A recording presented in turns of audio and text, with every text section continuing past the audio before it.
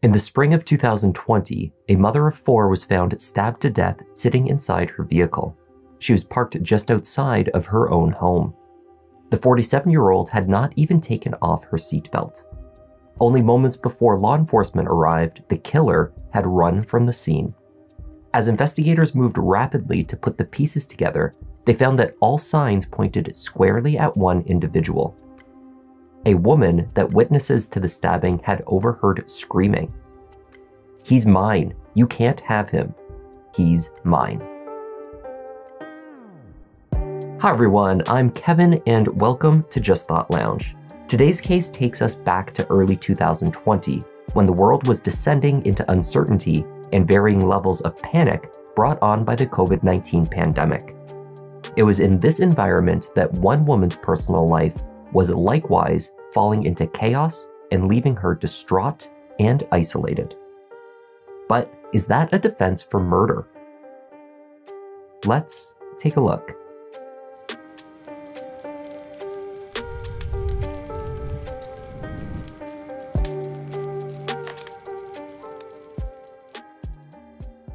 On the evening of May 18, 2020, in Pella, Iowa, Julie Kuiper was at home caring for her five-year-old.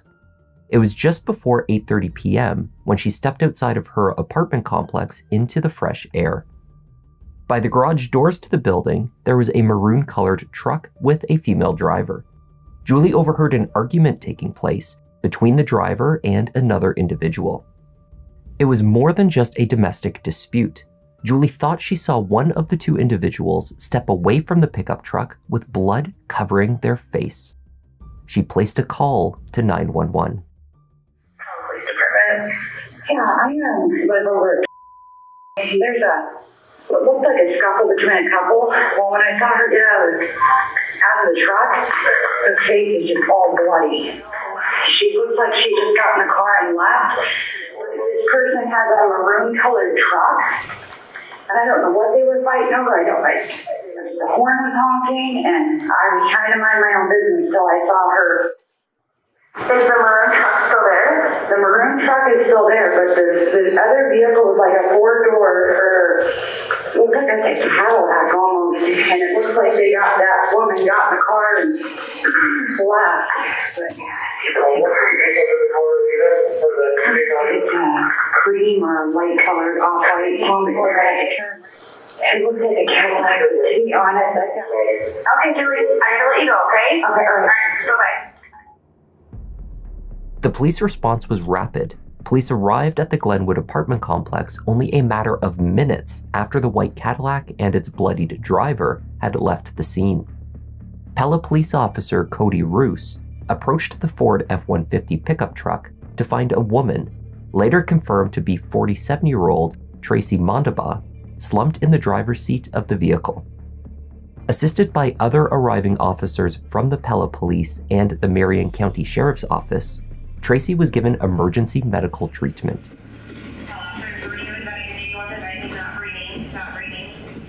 Sadly, their efforts were not successful. Tracy had been stabbed to death. The medical examiner later found a single stab wound to her chest, which had pierced her heart. Tracy, who was a mother to four children, was a resident of the apartment complex where she was found. It appeared that Tracy had only just arrived home when she was attacked. The incident must have occurred rapidly. Tracy was found with her seatbelt still secured around her. Outside of the truck, investigators noted a small piece of blue material. It appeared to be the finger of a latex glove, torn off during the altercation. The interior of the truck showed the aftermath of a brutal attack. Blood and hair evidence was collected for testing, though the results were predictable. Tracy Mondabaugh's DNA was all over the vehicle. She had clearly struggled with her attacker before sustaining the fatal blow to her chest. The Ford F 150 pickup truck that Tracy was driving, however, was not hers. Responding officers at the scene promptly checked on the registration. They found that it was owned by Tracy's boyfriend, who she lived with in the complex, a man named Nicholas Boat. Alongside the name of the registration was Nick Boat's previous address, the home that he had moved from only two months prior. Also registered to that address was a second vehicle, a silver four door Cadillac, one that matched the description provided by Julie Kuiper. That car was often driven by Nick Boat's estranged wife. Lieutenant Shane Cox responded to the call to check in on Nick Boat's former address. They anticipated that Nick's wife, Michelle Boat, would be at home. Parked in the driveway of the house was the silver Cadillac, its hood and wheels still warm to the touch. Whoever had been driving the car had been doing so only minutes before. In fact, from the time that Julie Kuiper placed her 911 call from the apartment complex to Lieutenant Cox's arrival to the Boat residence, only 17 minutes had passed. The locations were less than one and a half miles apart. Knocks on the door of the house went unanswered. Peering through the windows, the officers could see clearly into the residence. Lights had been left on. Someone must be at home. Officer Cox continued to call for a response, while Lieutenant Brian Biguet took a closer look at the Cadillac. He found a blood spatter on the passenger side mirror. Even more disturbing, a necklace with several full hairs attached hung off of the windshield. The necklace had become wrapped around a wiper blade. Peering inside the car, a collection of gardening tools including a hammer and other sharp implements, sat in a pile on the floor by the front passenger seat. With them was a pair of disposable blue latex gloves. On top of the seat was a bag, and most curious, a pair of binoculars. The lens cap for these had been removed and sat on the driver's side seat. A second blue glove could be seen resting in the center console. Five full minutes passed with no answer at the house. The visible blood on the vehicle increased the sense of urgency. Tell three.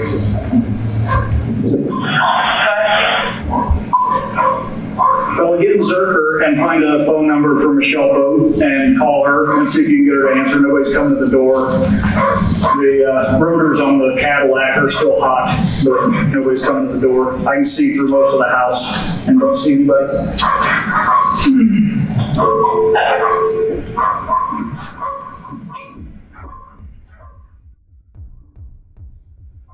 Walking around the side of the house, Lieutenant Cox spotted movement inside a bathroom through a window.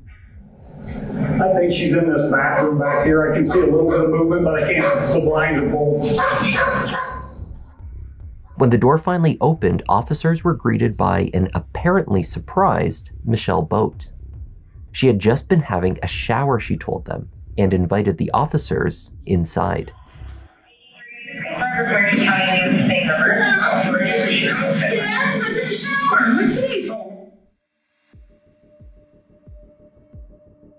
While Michelle sat down to speak with his colleagues, Lieutenant Cox conducted a sweep of the house. This was primarily aimed at ensuring the safety of the officers who had entered, to check that no other individuals were hiding somewhere inside. Noises from the basement drew the lieutenant's attention. The noise turned out to be the washing machine, which was already in mid cycle with a load of laundry. Partially visible through the clear front door of the machine, the lieutenant could see an odd collection of items for a single load one jacket, a pair of jeans, a top, socks, and undergarments. Michelle was washing a single outfit. In the bathroom where Michelle had been showering, no clothing had been discarded, though a handful of other items had been. Notably, a set of car keys sat on the bathroom counter.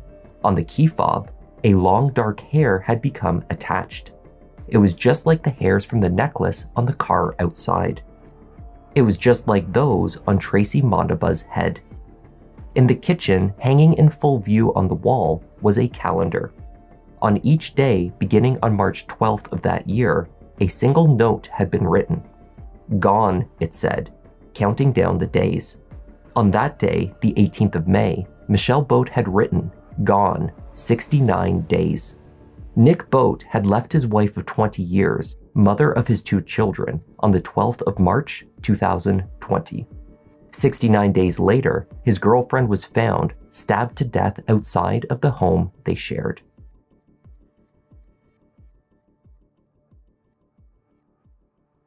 Forty-one-year-old Nick Boat met Tracy Mondabaugh in mid-February 2020 after she accidentally sent him a friend request on Facebook. They started messaging each other, which led to talking on the phone frequently. Shortly after, they went on their first date. Since they both enjoyed wildlife and the outdoors, they chose to go searching for deer antler sheds around Roberts Creek near Pella. Nick recalled that spending time with Tracy was like being with an old friend. They spoke as though they had known each other their whole lives, he said. They had a connection immediately. At the time, Tracy was still living in Ottumwa, where she had grown up. She was close with her four children, who, by the spring of 2020, were all adults with families of their own. Tracy began driving out to meet Nick in Pella regularly, where he still lived with Michelle and their two teenage children. Nick described his marriage to Michelle as 20 years of misery. He disagreed with how she treated their kids and was convinced throughout their marriage that she never loved him.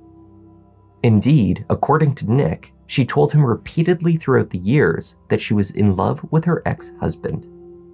On March 11th, after yet another argument, Nick told Michelle that he no longer loved her. He had met someone new and he was leaving. When Michelle returned home from work the next day, Nick was gone. Michelle's behavior in the weeks and months that followed the separation were erratic. She allegedly assaulted her husband a few days after he left. A subsequent no contact order against her was violated no less than four times. And she allegedly threatened to kill her nephew. During this time, Tracy Mondabaugh had become frightened. She and Nick had moved in together at the Glenwood apartment complex at the beginning of April. By that time, Michelle had made disturbing phone calls to her husband and been spotted following them around Pella. Law enforcement deemed her behavior at that time to be non threatening. In mid March, Michelle called Nick yet again, this time leaving a message on his voicemail intended for Tracy. And tell the bitch, you know, whore that you're sleeping with, she messed with the wrong mama. Later that same month, Tracy called the Pella Police Department after spotting Michelle following her all the way between Pella and Ottumwa. Nick worked long shifts at his manufacturing job at Vermeer Corporation, based in Pella. Tracy often drove in to meet him over his scheduled lunch break. On one such occasion, Michelle followed Tracy there, approached the couple in the pickup truck, and told Tracy, I will only tell you this once. Stay away from my husband. After obtaining a search warrant for the boathouse, investigators went back through the home more thoroughly. While standing in the bathroom during his initial walkthrough, Lieutenant Cox had made an observation. The toilet was running water on and off in brief intervals. It sounded as though the tank had been clogged. A team went back in and lifted the lid to the back of the toilet. Inside was a white towel. Inside the towel was yet another blue glove. This one had traces of blood and a single fingertip missing.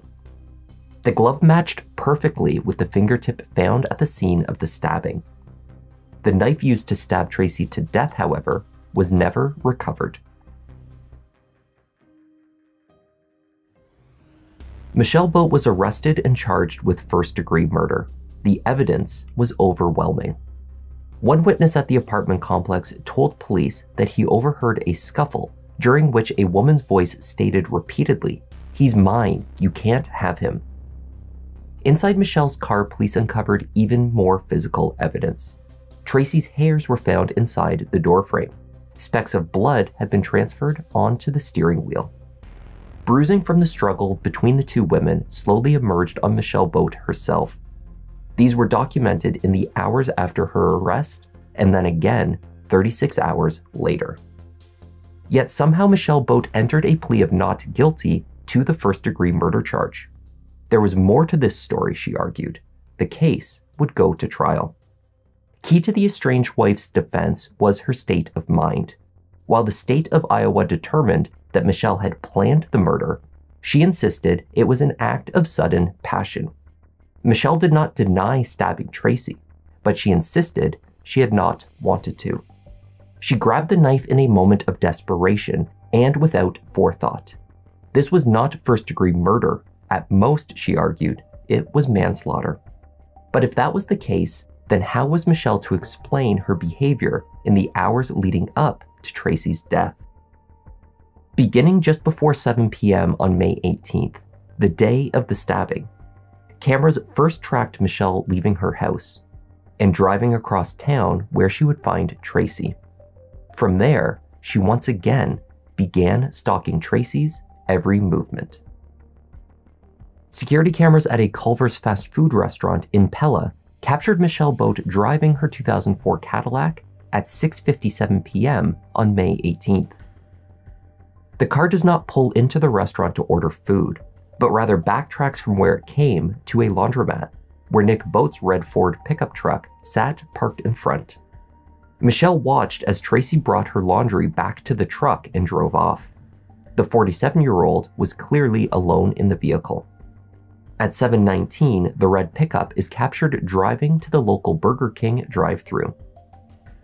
Only moments later, the Cadillac follows, driving a distance behind the truck. The parking lot is largely empty, though Michelle chooses to park in behind another vehicle. It appeared that Michelle was actively hiding her presence from Tracy, who at that time showed no indication that she was aware of being followed.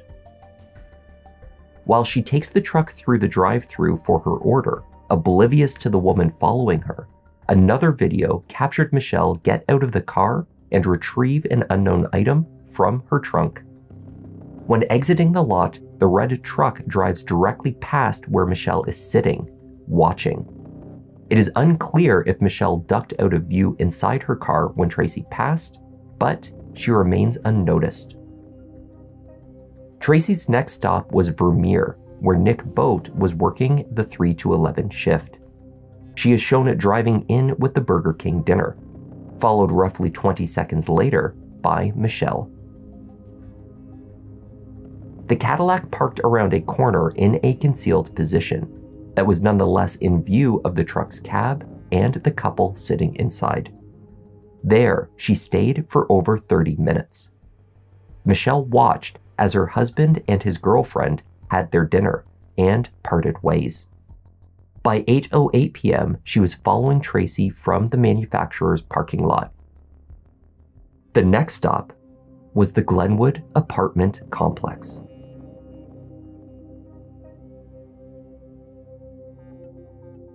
When Michelle's trial commenced, the prosecution painted her as a woman scorned. Seething and angry, she set out that evening to cause harm to Tracy Mondabaugh. They argued the fact that she wore gloves that day showed that this was not a spontaneous act. In fact, the prosecution said that it was part of a meticulous plan. The calendar found in Michelle's home marked each day since her husband had left her. She had been building up to the day when she could try to get him back and get Tracy out of the way. Scorned, obsessed, seething. It's May 18th, 2020, and a woman by the name of Tracy Mondabaugh maneuvers a pickup truck through the drive through at the Burger King in Pella, Iowa. Tracy doesn't know it, but as she squeezes that pickup truck through the narrow drive through lane, Tracy's being watched. Some might even say hunted.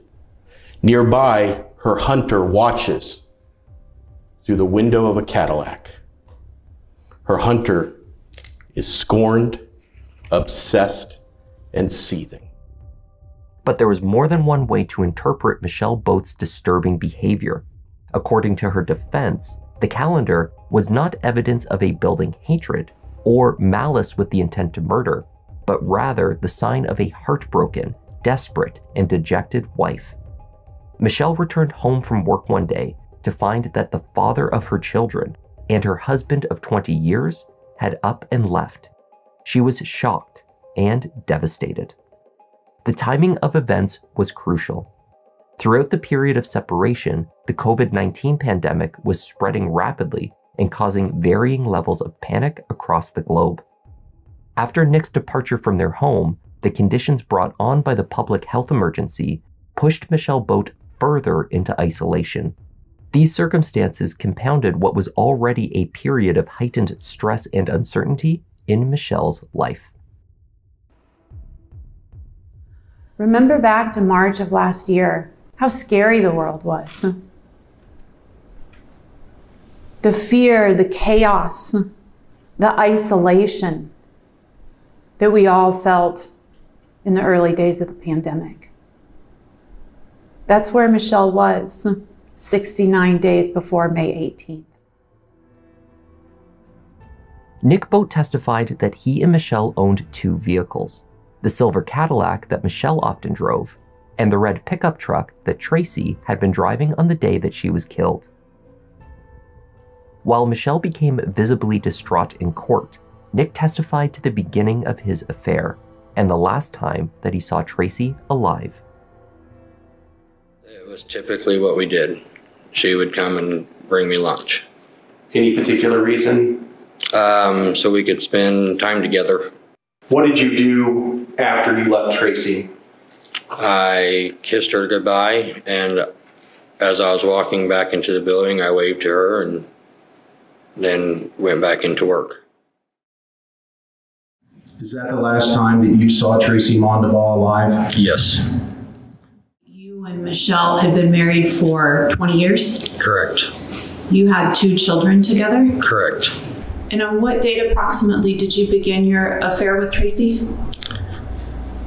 It was towards the beginning of March.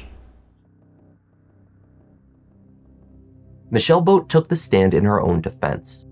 Michelle first told the jury that her husband's affair had been a devastating and surprising blow to her. She drank heavily for a period of two weeks non stop following his decision to leave her. After that, Michelle was hospitalized for mental health treatment for five days in late March. Heartbroken, sad, despondent, devastated, destroyed. Like, my whole life had just walked out the door. There weren't gonna be any more Thanksgivings or Christmases without him. He was my whole life. Michelle testified that on May 18th, she had only $6 left in her bank account. Her job working on the laundry service at the hospital had been on an on call basis. She only went in when she was needed. Michelle had not had a day of work or pay since the day that her husband left her. With her last $6, Michelle drove to Culver's to buy a chicken meal, she said. Michelle testified that she opted out of buying dinner when the line was too long. She instead drove back to the laundromat and began following Nick's red pickup truck. Her motivation was to check on her husband, to see him, and to beg him to come home to her.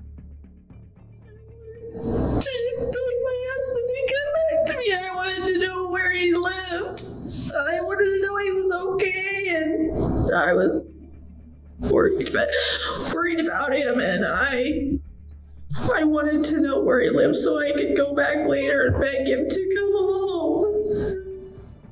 When Michelle followed Tracy to Nick's workplace, she chose not to get out of the vehicle to speak with him after all. She only watched from a distance. He came out of the building and got in the truck, and they ate. I would whatever they got from Burger King. I'm assuming is what they ate because they ate, and then he turned to her and he kissed her. And then he kissed her again.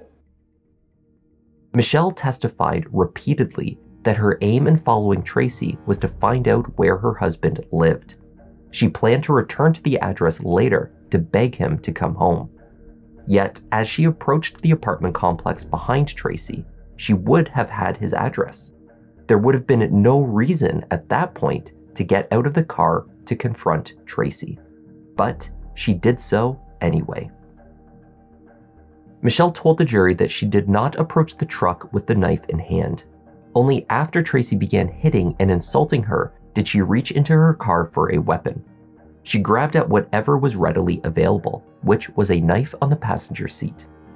At that moment, Michelle stated that she had been overwhelmed by two factors. The first was the realization that the apartment complex where her husband and his new girlfriend were living was the same one where she and Nick had lived as newlyweds. It had been their first home together. The second trigger was the smell of cigarette smoke. Michelle testified that years earlier, she and Nick had quit smoking together. As part of their motivation, they saved money to put towards a new truck, the very same vehicle that Tracy was now driving. As Michelle approached the cab, she caught the distinct smell of smoke. She claimed to have reached inside at that point for Tracy's purse to check for a pack of cigarettes, she said, to confirm her suspicions. When Tracy began hitting her, she lost control. He was hitting me and hitting me and hitting me. And I had my hands up. She's yelling at me. And I just, I just snapped and I grabbed the knife and I just stabbed I dropped the knife. Upon cross examination, Michelle told the prosecutor that she was wearing gloves when she approached the truck due to pandemic precautions. At that time, many people were wearing gloves whenever leaving the house. She was given the disposable blue gloves at work and kept them in her car for ease of access. Curiously, the state never questioned Michelle about when exactly she chose to put on the gloves, despite this being a key piece of evidence to prove her premeditation of the murder. Did she place them on before she left the house or closer to the time she approached Tracy in the truck? She was questioned as to what item she may have retrieved from her trunk when parked at the Burger King. Was she getting out her gloves or the knife at that point in time? Retrieving either of these items in advance would also have established her premeditation. Michelle testified that she simply did not recall getting anything from the trunk of the car at all. The gardening tools and other implements sitting in the front of her car were also explained away. Michelle claimed to have moved those into the vehicle for protection. After Nick had left her, she kept a baseball bat by the front door and another knife in her nightstand as well. Michelle, why did you have a knife in your car? Because my husband was always my protector and I was scared when he left. I was scared. If she had not planned to attack Tracy with the knife, why had she continued to struggle with her? Tracy was found still wearing her seatbelt. To end the altercation, the only thing Michelle needed to do was take one step backwards. I don't know. It was a struggle. We were having a tussle, a struggle, a fight, a. And then you chose to stab her. Right? I. Yes, I snapped. I snapped. And I stabbed her, yes. And then you stepped back, right? Her attempts to cover up evidence after the crime were done in a panic, she said. Michelle testified that she had hidden the knife used to kill Tracy under her bathroom sink. She had not divulged its location to the police when questioned, nor had she admitted any responsibility at that time. They asked you questions. Yes. You denied knowing anything about Tracy's killing. Yes, I did. They asked you multiple times to tell you tell them your side of the story, right? Yes. And then the police tell you Tracy has been hurt seriously, right? Yes. Yes. And your response was, God works in mysterious ways, doesn't he? Yes, I said that. The prosecution emphasized that Michelle Boat had countless opportunities on the evening of May 18th to change her behavior, to stop what she was doing, and simply go home. They painted her as a hunter, stalking her prey until the moment of attack. She had mapped out the murder as her revenge. Conversely, the defense pointed to how poorly planned the murder actually was. The necklace on the windshield, blood spatter on the vehicle, and evidence at the scene directly linked the crime to Michelle. In addition, there were two eyewitnesses at the complex who overheard the argument and viewed parts of the exchange. This was not an example of a meticulously planned murder. It simply could not have been premeditated, as the state argued. The jury deliberated for just 45 minutes before unanimously coming to its verdict. Ms. Boat, I'll have you stand and listen to the reading of the verdict.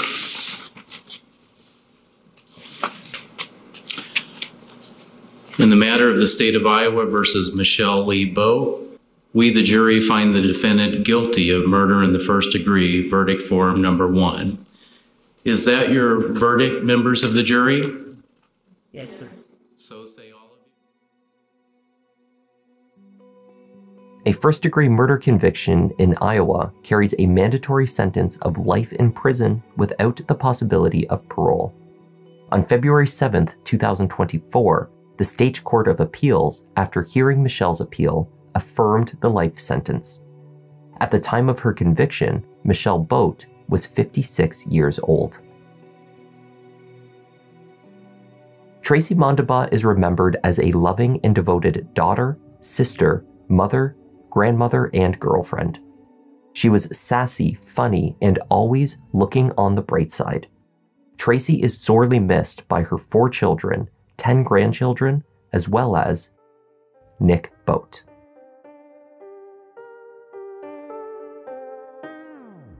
And that was the tragic case of Tracy Mondabaugh and the conviction of Michelle Boat. A special thank you to our newest premium members for supporting our work here at JTL Wendy, Ty Whitmere, Paula, and I am Cordelia. Your support is greatly appreciated. If you're interested in becoming a member, then check out the membership tab on our channel homepage. Either way, thanks for watching. I'm Kevin. This is Just Thought Lounge, and I'll see you in the next one.